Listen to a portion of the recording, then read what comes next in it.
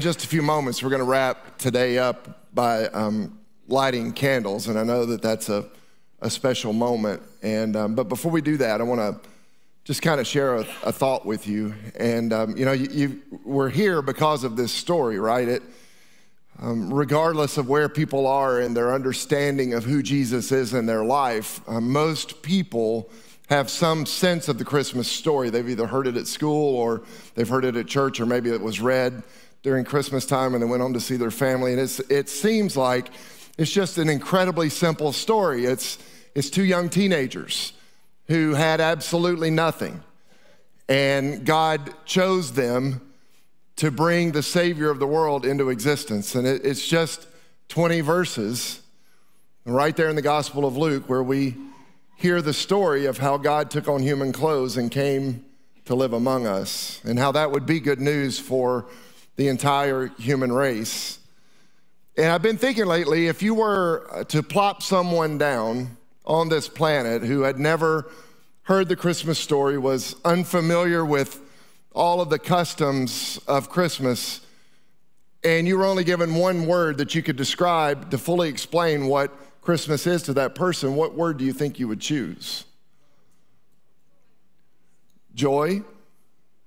Um, some of us might choose the word joy, right? These are usually the gift givers in our bunch.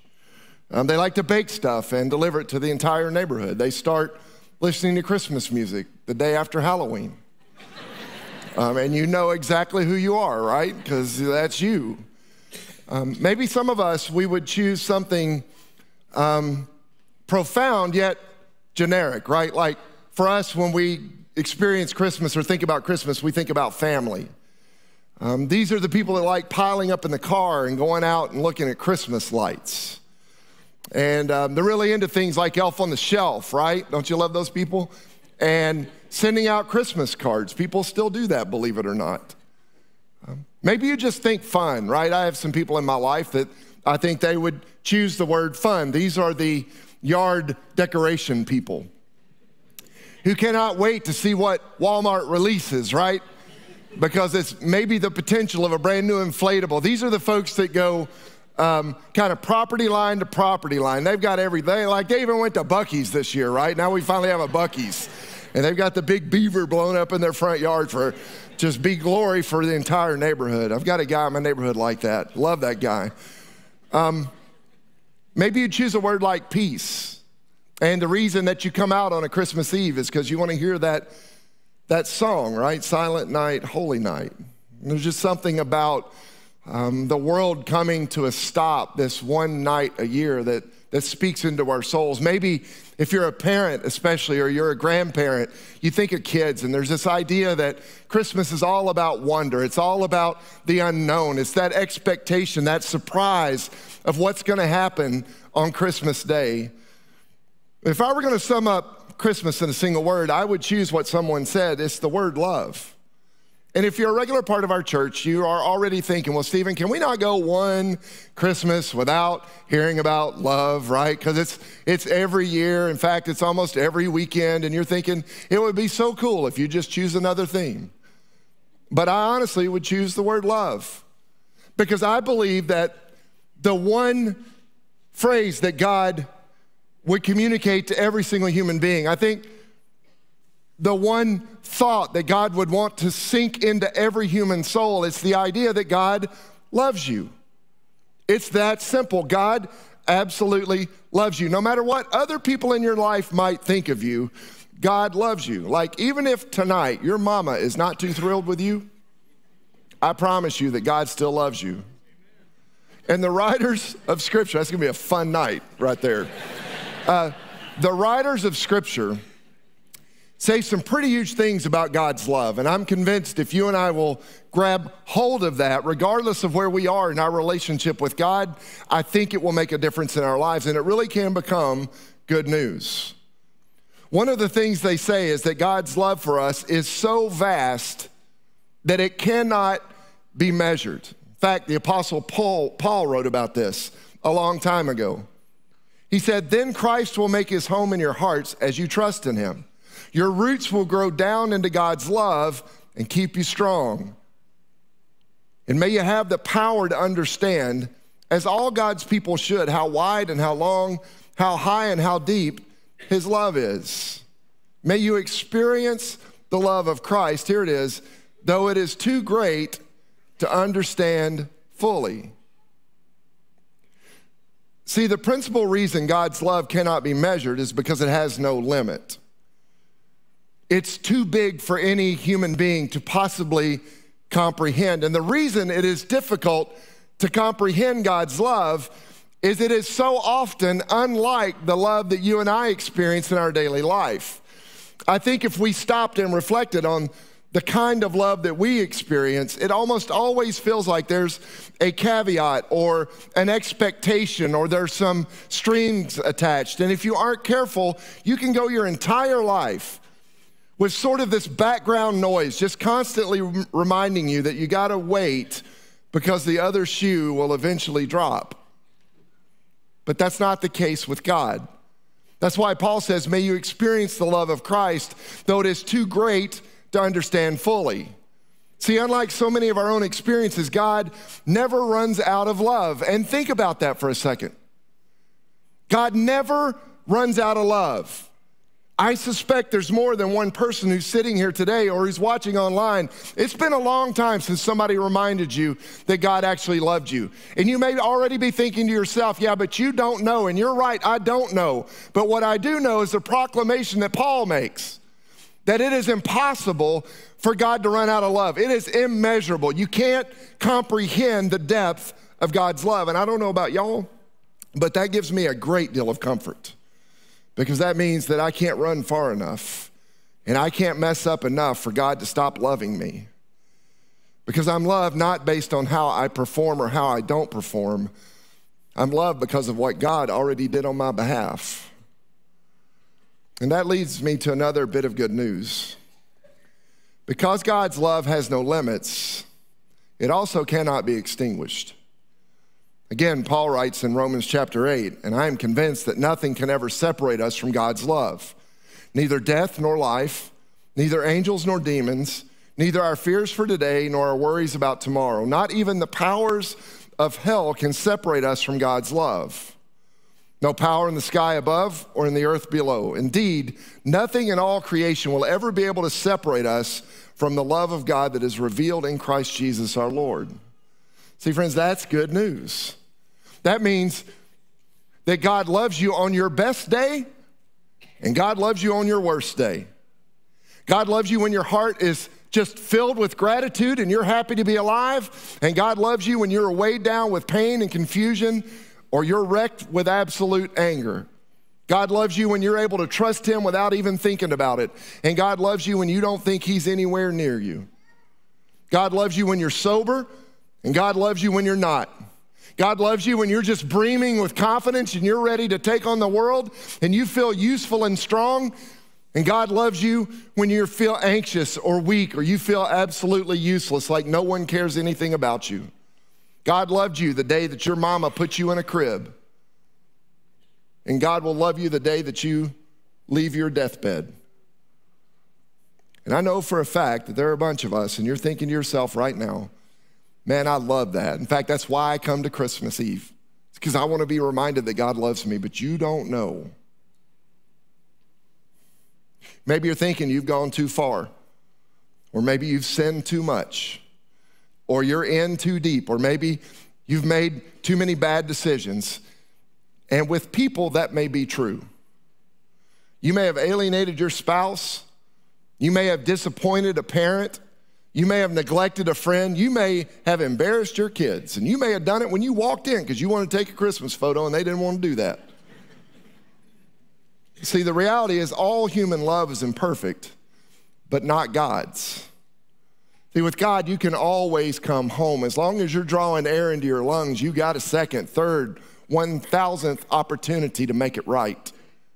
You can't run far enough. You can't fall hard enough. You can't fail um, too many times. See, that's, that's the message of Christmas. That's what makes today so special. That's why there is a uniqueness, there's a draw, there's something sacred about this season and about this night in particular that tugs I think, into the depths of every human heart. And I know sometimes we forget that Christmas is not our birthday. And we can get lost up in all the shopping and the picture taking and the putting up of lights and decorations and the gift wrapping and the unwrapping. It's easy to get swept up in sort of the feel good holiday stuff and the stocking stuffers and Christmas parties and trying to outdo each other or wearing the ugliest sweater.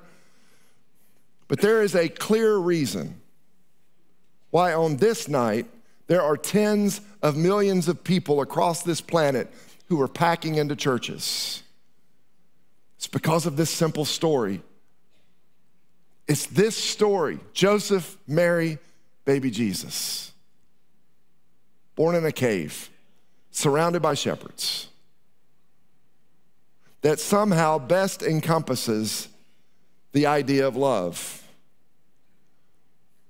You know, this story began with a promise made by a prophet to a fledgling nation called Israel. And in their darkest moment, when it felt like their backs were against the wall and when it seemed like they had nowhere to turn and when it looked like they had no reason to have hope whatsoever, Isaiah answers God's call and he finds the courage to stand up in front of an entire nation. And he began to talk about a day, about a single event, a moment in time when everything was going to be made right again. And he was honest with them. They weren't experiencing it right now, but he had the courage to say, That day is coming. Don't you lose sight. Here's what he says Nevertheless, in other words, regardless of what you're facing right now, um, in spite of feeling like you've got no more answers, even though you feel like God has abandoned you. He says, Nevertheless, there will be no more gloom for those who are in distress. The people who walk in darkness will see a great light. For those who live in the land of deep darkness, a light will shine. For a child is born to us, a son is given to us. The government will rest on his shoulders and he will be called Wonderful Counselor, Mighty God, Everlasting Father, and Prince of Peace. His government and its peace will never end. He will rule with fairness and justice from the throne of his ancestor David for all of eternity. Now imagine you're a part of the nation of Israel and you've lost everything your land, your people, your leadership, your language, your identity You've been scattered everywhere by your enemy. And then here's this guy that, that acknowledges, yeah, you're walking in darkness, but I need you to know not that a light will come, but a light has come. Not that a son will be born, but a son is born. Can you imagine what that would do to you? Can you imagine that sense of hope that people started to feel that maybe God had not abandoned them and maybe God had not forgotten about the nation of Israel? I just imagine if we were to put ourselves in that story, that maybe, just maybe, for the first time in a long time, there started to be a little flicker of hope. But there's one problem. Decades went by, and then centuries went by, and nothing happened. But then one day there were these two teenagers, Mary and Joseph. And they came from absolutely nothing. And they came from a backwoods little bitty town that nobody ever cared about. And they find themselves in little more than a barn. And right there in the dirt of that stable, this couple becomes a family. And just like that, the promise made through the prophets, prophets centuries earlier, it all began to come true. And in an ultimate act or sign of love, God became human, right? God became human. No other religion on our planet can make that claim. Christianity is the only one that clings to this idea of God living among us. We're not subjects. We're not supposed to be drones that were created to, to just do the bidding of our Creator. That God wants to be in relationship with human beings, with all of our flaws, all of our shortcomings, all of our mistakes, all of the ways that we have a, a, an opportunity to disappoint God, He still chooses us to be with us. Eugene Peterson put it like this He said, The Word became flesh and blood and moved into the neighborhood. See, friends, that, that's the game changer. Because what that means on this night is that nobody has to go it alone. Nobody has to stumble their way through life. That means that redemption has now been made available, right? The word became flesh and blood. God intervened, God got involved. He literally moved in, and that ought to give us hope. Because Christmas reminds us that the world is sometimes a very dark place. But the good news is, 2,000 years ago, a light dawned. Hope showed up. A child really was born. It's not a myth. A son had finally been given. And the scriptures promise that he will usher in justice and peace, that he'll defeat evil and darkness once and for all. And on his shoulders literally rests the future of everything, not just of the world, but the future of your life and my life. Even if we don't realize it, it rests on this, this man named Jesus. And because of Jesus, even death does not get to have the final word. And if death doesn't get the final word, then that means you and I've got nothing to fear. You don't have to fear pain because everybody's going to experience it. You don't have to fear regret because we're all going to make mistakes and wish that we could take it back. You don't have to fear seasons of struggle or failure or depression. You don't have to live in fear of an addiction or loneliness or loss or a broken dream or whatever sin that you found yourself caught up in. See, Christmas reminds us that with Jesus, Jesus, nothing is impossible. And if you play that out, if nothing is impossible with Jesus, well, then that means that anything is possible. It doesn't matter where you've been or what you've done. The message of Christmas is that if you got Jesus, you got all you need. And so on this night in particular, we're simply called to have hope. That's it. You don't have to get it perfect, you just have to have hope.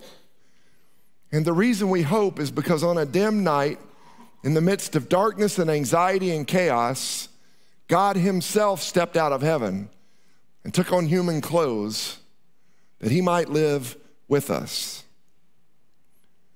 In his birth, it marks the end of your past. I know some of us, you've got that voice in your ear right now that's reminding you of what happened back there.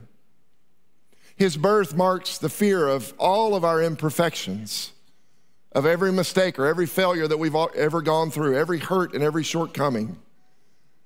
See, we hope because through the tender cries of an infant laid in a manger, a revolution was started that actually has the potential to change a human heart and completely redirect a human destiny.